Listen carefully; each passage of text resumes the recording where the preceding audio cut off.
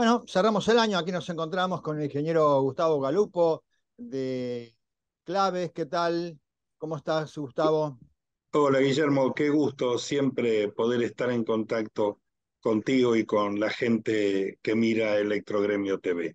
Sí, y bueno, y este contacto con, con vos, con, eh, con Claves, eh, a nosotros nos, nos colabora mucho, porque bueno, mm, la gente lo sabe, nosotros arrancamos con, eh, con, con vos eh, eh, haciendo un pronóstico de lo que iba a ser el 2022 y ya estamos cerrando.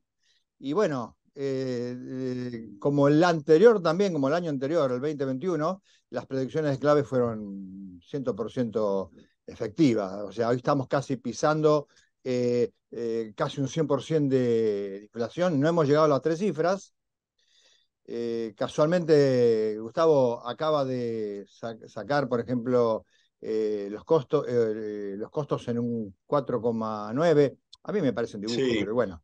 Y sí, este, no, yo realmente veo, como consumidor, veo que no se condice con, con lo que uno experimenta en la diaria. Obviamente deben tomar como referencia eh, muchos productos de precios cuidados. Lo que preocupa es que eh, en términos generales hay una distorsión eh, de precios relativos que este, suben, pero sabemos que hay mucha inflación y todavía precios de servicios este, que están contenidos o fuertemente subsidiados. ¿no? Este, y, bueno, eh, realmente el año se ha movido aproximadamente dentro de lo que habíamos previsto cuando iniciamos. Este, no podemos decir que el mercado está, eh, ha caído en sí. Hay sectores que han seguido traccionando a nuestro gremio. Eh, la construcción ha sido uno de ellos. Este, sigue la demanda. creo que nos encontramos con dos elementos este, que han coadyuvado en contra del desarrollo.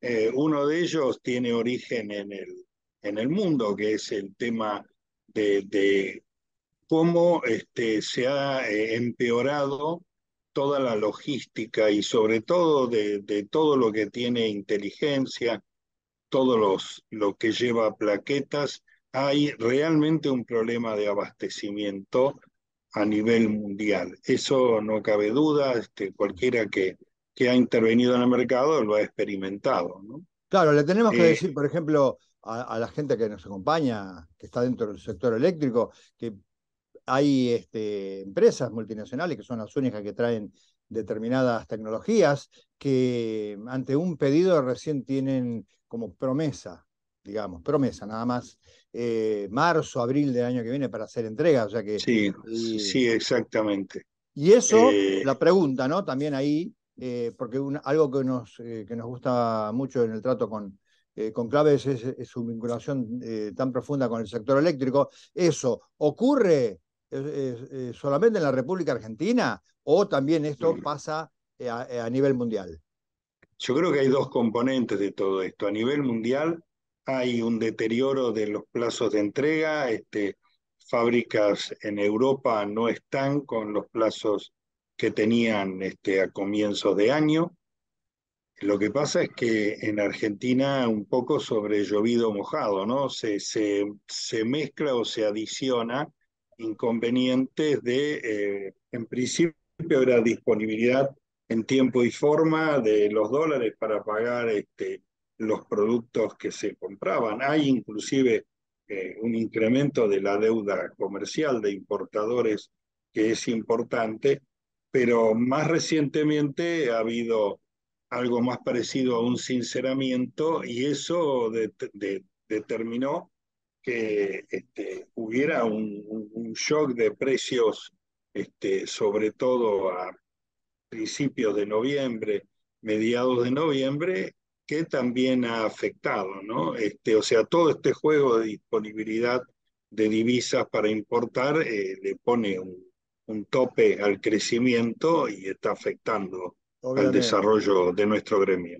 obviamente. Y después también un tema que a veces la gente cree en las fantasías de cerrar el mercado y vamos con lo nuestro, y no existe eso porque de pronto vamos al sector eléctrico, eh, si tiene que, fabricantes de cables, por ejemplo, eh, o empresas donde, que, utilizan eh, cobre para sus manufacturas.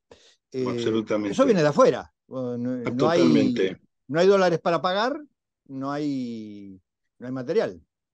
No, este, evidentemente, por ejemplo, en el caso de, cables, en general los fabricantes locales trabajan con, con stock de, protección eh, y yo conozco varios que están operando bien, pero esto en algún momento este, se refleja. En, en otros rubros es, es más patente. Todo lo que requiere importación como insumo o como subproducto semi elaborado para construir, eh, esto está afectando directamente. Bien, en materia de, por ejemplo, de, inversiones este año, ¿cómo eh, has visto que ha mermado por lo menos los proyectos?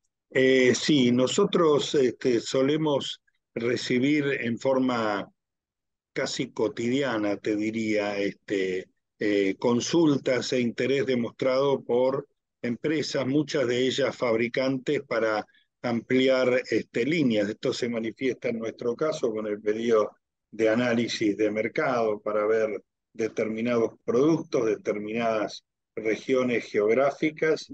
Este, eso sin duda que ha mermado este año. Es más, como yo te había explicado hace la última vez que charlamos fuera de, de, de, de las cámaras, este, lamentablemente muchos proyectos eh, que nos piden son estudios para eh, establecer operaciones eh, fuera de los límites del país. ¿no? Este, vos sabés que yo tengo este, años de trayectoria este, corporativa y en los últimos tiempos he tenido bastante contacto con gente con la cual he trabajado fuera de Argentina en Latinoamérica este, durante mucho tiempo y es este, a veces lamentable, lamentable para nosotros ver cómo este, en otros países ha habido, pero en otros países, te estoy hablando de Chile, de Perú, de, de, Ecuador, de Colombia, no, este, no, no, no hace falta irse muy lejos. En general han, han crecido en promedio mucho más de lo que eh, nuestras empresas han crecido localmente. De acuerdo. Gustavo, te, invito a que hagamos un pequeño corte y continuamos. Vamos en, el, en el siguiente bloque, vamos a hablar un poquito cómo ves que viene de aquí en adelante. ¿Te parece bien? Ok, bárbaro.